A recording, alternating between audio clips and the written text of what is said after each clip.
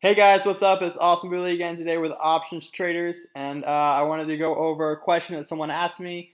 Um, so I'm going to read that question first, and I'm not going to use their name because I don't know if they want me to or not.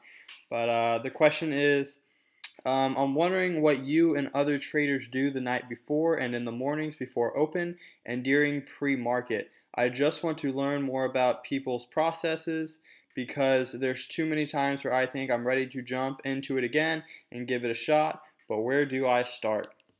So I basically won't be answering the question where do I start because uh, where do I start is uh, learning everything and then going through an emotional train wreck of losing a little bit of money and then doing okay. Um, but I'm going to start with the process. So um, let me see the first question. Um, start with it. It says, um, what do you do the night before?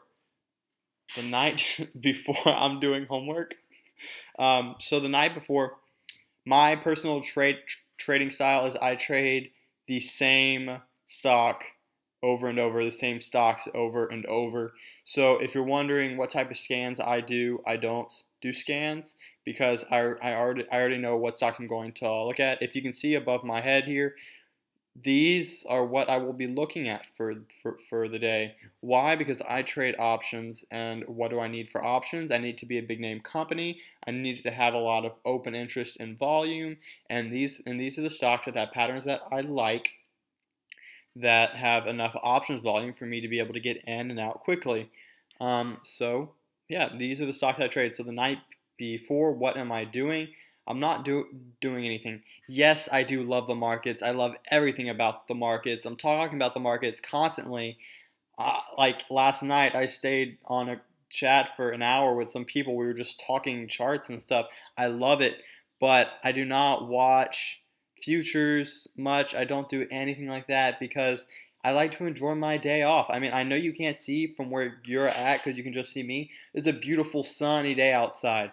I'm going to go play sports. I'm going to go hang out with friends. I'm going to watch YouTube. I'm going to do something. I'm going to enjoy my time. So the night before, I'm not doing anything because I know what stocks I will be looking at in the morning um, as here uh, in my list. So next question is, and in the mornings before open and during pre-market. So what am I doing pre-market? I'm taking a shower and I'm waking up. okay, well first I'm going to say my, my market opens at 8.30. Um, so I wake up about an hour and a half before that. Um, I wake up at 7 uh, Central Standard Time, and um, I usually wake up. I, uh, I read uh, my Bible. Uh, I don't know if y'all care to hear that or not. But then after that, I read a book that I have. I'm, I, I slowly am trying to read through books because uh, I'm constantly learning. The book I'm reading through right now is called One Good Trade. It is by the co-founder of a proprietary trading firm uh, named SMB Capital, and it is so good, so good. I totally recommend it. I might put a link below. I don't know. Um, and then I take a shower, and then blah blah blah blah blah. So what am I doing? Basically, I'm saying all that to say I don't do much in the morning in pre-market. Why? Because I know what I'm going to, to look at. Now, let's say I get to my screens, my trading platform is up within um, 5 to 10 minutes before the market opens. Um, and what am I doing? Well, on SPX, I'm doing nothing except making sure my lines go all the way across. Because on Tastyworks, you can't say, you can't right click it and say extend all the way to the right like you can on the Thinkorswim platform. So I just make sure my lines are fully extended and straight. Um, and that's all I'm real, real, really doing. Um, now on F Facebook and all these other things, uh, you have your pre your pre-market activity. So if I think I'm going to trade one of them that day, I'll take the pre-market activity and I will see a prevailing trend trend line that is ha happening pre-market, and that will be if I want to trade these stocks, my uh, my decision for the day. So as you can see, we have this huge spike down. You can see I would have had this trend line here because this was pre-market uh, to see this nice little bounce up. Uh, Boeing, let's look at pre-market. So you can see here we have this huge um, push up and then during pre-market it's pushing down. So what, what are we going to expect? We're just going to expect the momentum to continue to push down at least for five minutes, uh, which is what it did here. It did for almost an hour or 30 minutes, it, it, it looks like. Uh, Netflix, blah, blah, blah. So basically the same. It depends on what you're trading. Okay, if you're going to trade a penny stock, uh, most of them move during the pre pre market time, um, but I'm not worried about that. SPX has no, um, the S&P 500 index um, has no um, pre market or aftermarket activity. So I just need to show up when the market opens. So I'm up here. I am um, five to ten minutes. I open my platform. I uh, I go through all the stocks. I see if there's anything important. I go through the group chat uh, that is linked below uh, just to see if anybody mentioned anything that I, need, that I need to be aware of. But also, um, a part of my routine is on Sunday nights. What I always do is I always update my trend lines and support and resistance lines, um, as well as I go on forexfactory.com. Uh, uh, yes, I don't trade forex, but they have a, cal- uh, a calendar of all economic events that are happening for the week. So I skim through it and I see if there's anything important, like a Fed chair guy speaking or um, the CPI report, the Consumer Price Index, something that will affect the SPX, something uh, a military guy speaking or the general speaking, something important. Uh, and there's no and there's nothing important. I don't real real, real I don't care. But if I see something important, I'll make a mental note. Hey, on Monday, go back and look at Forex Factory and see what exactly is going on before I trade.